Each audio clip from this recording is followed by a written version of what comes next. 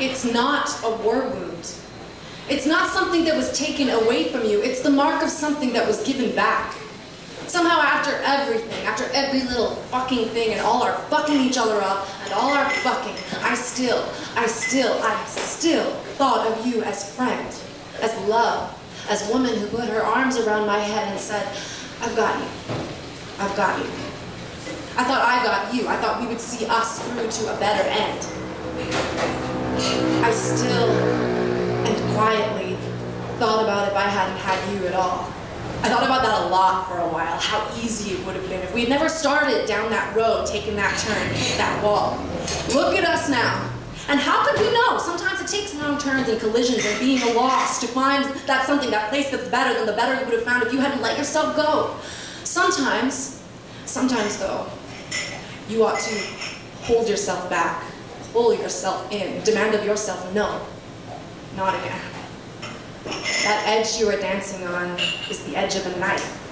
And you will feel open, split open, and you will feel like your life is unfolding its folds for you and it is unraveling. And you'll be dizzied with colors, but not seeing a thing. Those colors are snakes dancing over your tightly closed eyes. And you will have told yourself that ache is just love in disguise. It isn't. True love shows its face, and it is self-sustaining. Those eat holes in your heart and your strength that is waning are the wounds of something else.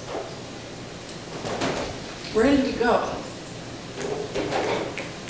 We perched with each other in love. The falling came later. We both fell hard in our own ways into blinding sadness from a searing pain, angry and hardened on the outside to keep our softer selves protected within. The secret was already out. You're as soft as iron. But you defied that by thrashing yourself into the bottom of a bottle and pummeling yourself with street. I took refuge in a hole that I didn't realize was a dangerous den until I was already unpacking and then drank myself numb just so I wouldn't have to sit in my own cage and be aware of what I've lost. But I am not lost anymore. We are not lost. I say this to you, my reflection.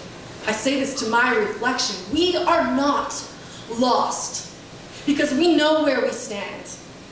Because we marched into a hell of our own making, not blind, but blindfolded. Not because we didn't know better, but because we had to burn ourselves away to be able to live again.